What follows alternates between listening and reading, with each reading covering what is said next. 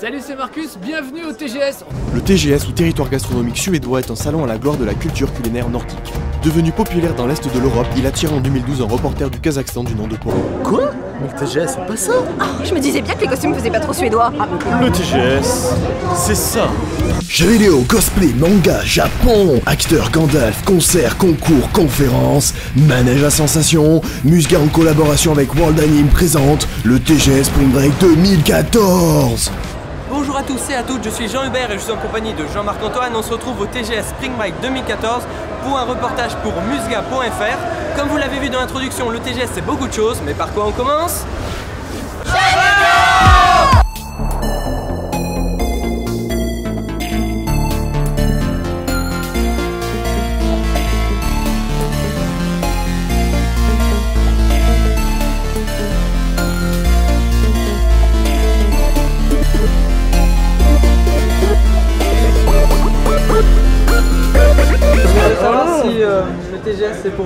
Pour vous une occasion de découvrir de nouveaux jeux. Bah là, la preuve Bah, les consoles Oui, oui, oui, la PS Vita Des consoles qui sont pas forcément accessibles hein. Ça nous permet d'en profiter sur les appâts quoi. Enfin, pour les jeux d'arcade, ouais. Enfin, on vient, on passe euh, une heure ou deux parfois. C'est vraiment euh, pouvoir alterner les jeux, faire alterner aussi les gens qui veulent essayer pour éviter que justement les gens restent euh, tout le temps sur place et jouent pendant 4 heures au même jeu. Il y a beaucoup de personnes qui connaissent les jeux, notamment Just Dance. Mais il y a beaucoup de personnes qui viennent découvrir.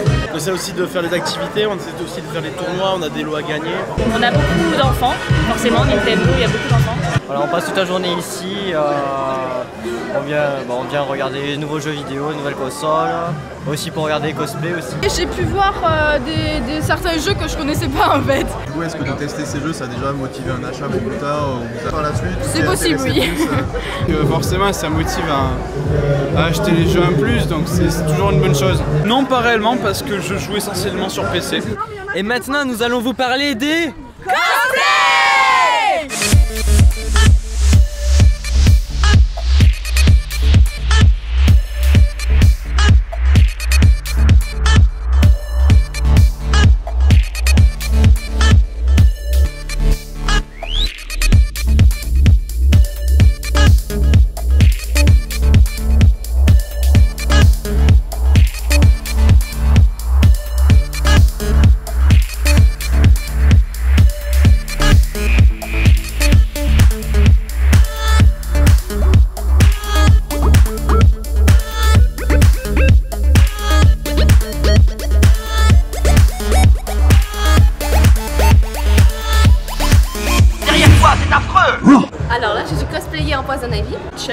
Portal 2. Professeur Jonathan Crane, pour vous servir. Donc c'est un cosplay de Creeper. C'est un personnage qui s'appelle Raiden. Moi je suis le médic. C'est un soldat sombrage de Skyrim. Il y a un gobelin, un épouvanteur, une elfe et un mercenaire viking. c'est un cyborg euh, qui a été euh, transformé euh, lorsqu'il est parti dans la zone 51 sauver la petite là. De Batman euh, dans le film. Après, j'ai euh, j'ai refait à ma sauce euh, le cosplay parce que je voulais un truc qui me ressemble. J'ai mis 20 jours à le réaliser. Bonne dizaine à quinzaine d'heures. Ça m'a pris deux semaines.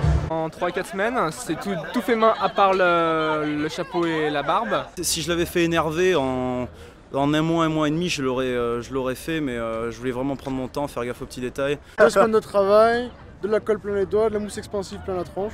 Donc là, j'ai mis environ pff, deux mois à le faire. je l'ai fait en plusieurs étapes.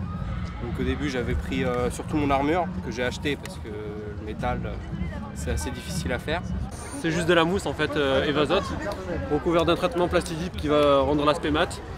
Et ensuite c'est juste du travail de détail. Réunir les, les pièces manquantes. Ma mère qui est couturière, elle a pris tous les vieux tissus, elle m'a fait une robe et. Énormément de couture à faire, notamment de fausses coutures. Euh, bah ça, c'est une toche faite en laine, euh, à peu près 180 euros de matos pour euh, toute la laine faite, ensuite euh, pour le passement, etc. La capuche, très chiant. Euh, Sauf la cote de maille qu'on m'a prêtée. Sinon après tout le reste c'est fait main.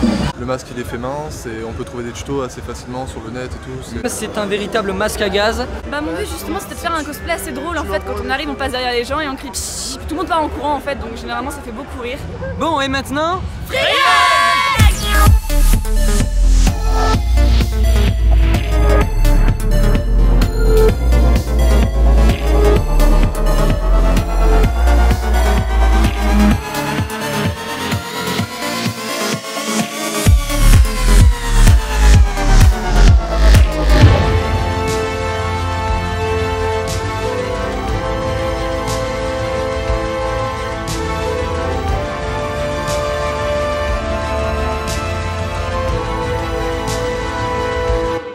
principe c'est de, de créer sur une pancarte FreeX, donc en gros câlin gratuit en anglais. Et puis le principe de FreeX, c'est de donner un câlin gratuit sans aucune arrière-pensée. On fait ça pour répandre la joie et la bonne humeur Quand on se fait chier quoi. Le FreeX, c'est convivial quoi, et puis ça fait plaisir. C'est une marque d'affection.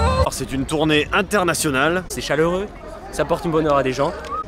Principalement dans les Sofitel. C'est juste faire plaisir aux deux personnes, donc euh, C'est le seul moment de l'année où on peut Promouvoir euh, la richesse et la beauté de la culture française. on enlève tout ce qui est haine et tout ça. et- Alors combien Euh, là, je crois que j'ai fait 7. Moi je suis à 260 et quelques. Bien, je suis arrivé à plus de 750. On est à plus de 200 chacun. Là où on en a eu le plus, c'est pendant qu'on faisait la queue pour manger, on s'ennuyait, donc on a commencé à crier câlin gratuit à tous ceux qui passaient. Il y en a beaucoup qui ont dit oui. Et pour finir, le reste Le salon est rythmé par de nombreuses conférences qui ont lieu dans l'amphithéâtre derrière moi sur des thèmes comme l'avenir du jeu vidéo ou encore des questions-réponses avec les acteurs. Là, on est allé à la conférence des acteurs. C'était très bien, euh, les acteurs ils ont pu leur poser des questions et ils ont répondu gentiment. C'était rigolo, c'est sympa. Ils sont, ils sont super marrants, super conviviaux. Il y avait Sylvester McCoy qui avait pas mal de blagues et euh, peu d'ambiance et c'est sympa. On a appris beaucoup de trucs sur les acteurs. TGS aussi pour pouvoir les voir. Euh, oui, aussi. Bon, après, j'aime bien les mangas, tout ça, mais euh, oui, je viens aussi pour euh, les acteurs, tout ça aussi. oui. Une des particularités de ce TGS était la présence de manèges tout au long du salon.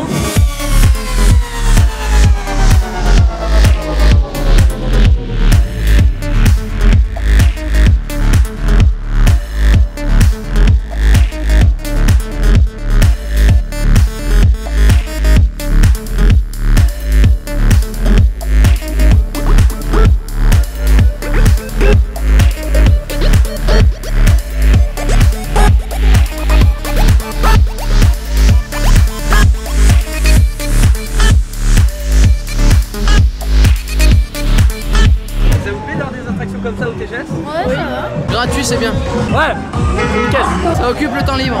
C'est bien, c'est cool, ça met un peu d'ambiance quoi. Un bon passe-temps. On a fait le gros truc là. C'est extra, c'est extra.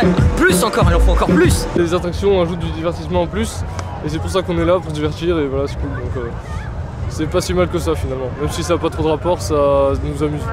Une grande partie de ce TGS est occupée par ces stands qui nous permettent d'acheter des mangas, des figurines et autres goodies qu'il est difficile de se procurer en dehors d'internet. C'est ce qui en fait aussi une des grandes attractions de ce TGS. Il y a des choses qu'on trouve pas en dehors du TGS, ça c'est sûr, ou pas forcément facilement. Donc, euh, Les plats qui sont proposés ici, c'est, on ne les trouve pas dans les restaurants japonais euh, traditionnels. Et on a dévalisé le salon aussi. Quand je trouve des figurines ou des, euh, ou des accessoires qui me plaisent, j'ai j'ai tendance à les acheter. Le poignet malien, c'est entre 25 et 30 euros par personne. ce week-end, je fais que regarder.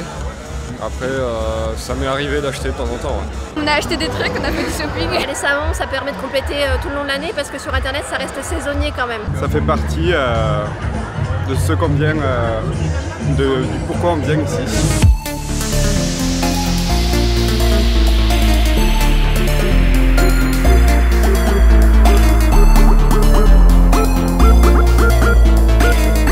C'est paradis. Une bonne ambiance, ça a été convivial. C'est merveilleux. C'était cool. C'était un de mes préférés, euh, comme tous les Onami en fait. C'était vraiment trop génial. C'était énorme comme map. Francis. On a des câlins gratuits partout, tout le monde est chaleureux. À la sortie de Planète Moins de monde que je pensais et je trouve ça mieux.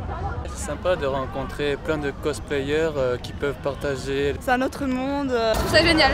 Moi, je reviens l'année prochaine. On a tous la même passion, quoi, qu'on est ici. On décompresse le week-end. C'est super, on rencontre des gens, on s'amuse bien, c'est génial. Bah, moi, il m'a plu en tout cas ce TGS. Même si euh, il a changé de nom, euh, il a pas vraiment changé. en fait. Ainsi s'achève cette édition du Toulouse Game Show Spring Break 2014, riche en émotions, en cosplay, en free hug et tout ce que vous voulez. On se retrouve donc en décembre. Ce reportage vous a été présenté par... Morganie